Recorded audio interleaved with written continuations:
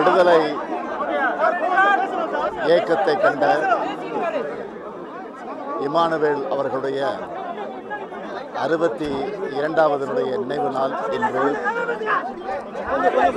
அவருடைய நினைவு நாளில் அவருடைய நினைவிடத்தில் திராவிட முன்னேற்ற கழகத்தின் சார்பில் என்னுடைய அஞ்சலியை நான் செலுத்தியிருக்கிறேன்.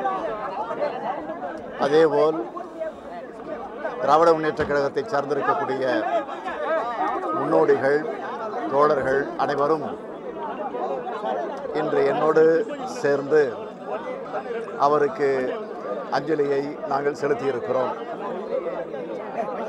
தீண்டாமை ஒழிக்கப்பட வேண்டும் என்பதில் போராடியவர் இமானுவேல் அவர்கள். அது மட்டுமல்லாமல் அகில இந்திய இராணுவத்தில் பணிபுரிந்தவர் என்பதும் குறிப்பிடத்தக்கது. ஆயிரத்தி தொள்ளாயிரத்தி ஐம்பதாம் ஆண்டு விடுதலை இயக்கத்தை கண்டவர் இமானுவேல் அவர்கள்.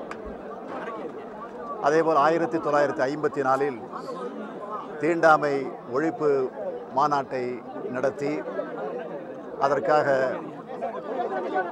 வாதிட்டவர் போரிட்டவர் இமானுவேல் அவர்கள். எனவே அவருடைய புகழ் வாழ வேண்டும். அவருடைய புகழ் ஓங்கி நிலைத்திட வேண்டும் என்கிற அந்த உணர்வோடு திமுக கழகத்தின் சார்பில் எங்களுடைய அஞ்சலியை நாங்கள் செலுத்தியிருக்கிறோம். என்னங்க?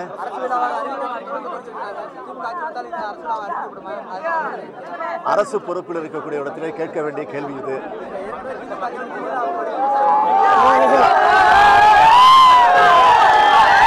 அதாவது திமுக ஆட்சிக்கு வரும் என்ற நம்பிக்கையை நீங்க கேட்கிற கேள்வியிலிருந்து எடுத்து காட்டுங்க